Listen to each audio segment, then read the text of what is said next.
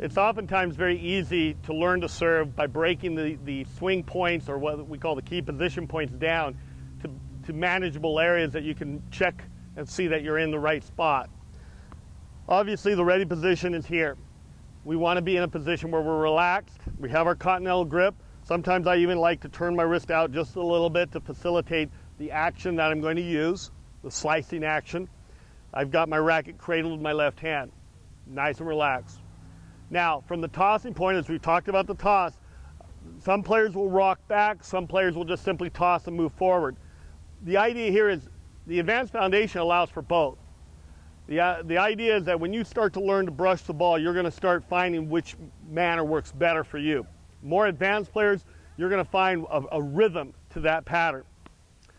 After you're in the ready position, you're going to go into what we call the trophy position, the, the common position we see, uh, the, the standard trophy of a tennis player serving, and that is where the arms separate.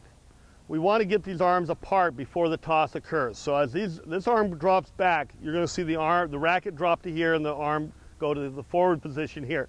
As we move up and we toss the ball, we're going to see two patterns emerge. One is this pattern of, I like to call it the Usain Bolt position here where the, the arm and the toss are here. The racket hasn't gone to the back scratch position yet. You're going to see the, the arm start to what I call comb the hair back.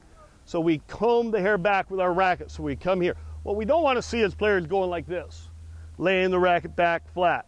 So what we want to see players do is they come back to this position, giving them again more time to hit the serve. They come back to here. Now they've got to windmill the ball, the racket up, giving them uh, less time to hit the ball. So what we want to do is have them get to the back scratch position from the trophy position quickly. So from here, we bring the racket back. Now we're in a back scratch position. Again, the continental grip is going to allow me to be in this position here, in our, the middle of my back or near my right shoulder. Elbows high. This is one of the mechanical fault, faults we see a lot of players do. They bring this elbow down. We want to see players bring this elbow high as they comb their hair back and they get into this, what I call the pre-contact phase. From here, now they're in a great position. Notice that I'm very sideways. I bent my front knee so I can use that to thrust upward. I'll talk a little bit about how to add more power to your serve. But we're now in a position where I can attack the right side of the ball with the sliding, the slicing motion. So from this position, I'm going to attack the right side of the ball. Now comes pronation. I say this word with a little hesitancy. You do not intentionally pronate. It happens automatically. I've seen a lot of teaching pros actually tell players to pronate and they get to here and they actually pronate so early that they're hitting the left side of the ball. You don't need to even say the word pronation, it happens automatically.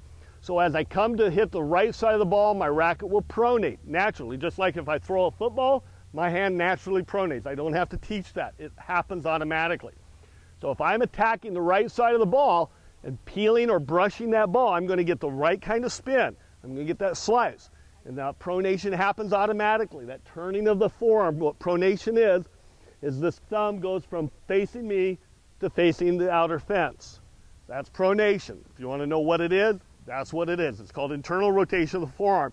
It's just taking that thumb from here and turning it to there. That's where we get a lot of racket head speed because the racket moves very quickly within a very short, small area of my swing. It's the last of what we call the kinetic chain being that the legs push up, they stop, the shoulders rotate, then they stop, the arm comes in and it slows down, the racket moves through that slicing action as the last link of that kinetic chain, and then the relaxation phase is the final. Remember we talked about the back leg staying back as I come through. Now once I come through, then my body weight moves forward and I step with the foot, not before. A lot of times players see the player stepping forward. They fail to see what happens here. That back leg staying back, then coming forward. That's a very important aspect of every top level serve is you'll see that back leg kick very high, especially the bigger the serve. Because if I bring that leg around, I'm going to over rotate. I'm going to pull the ball to the left.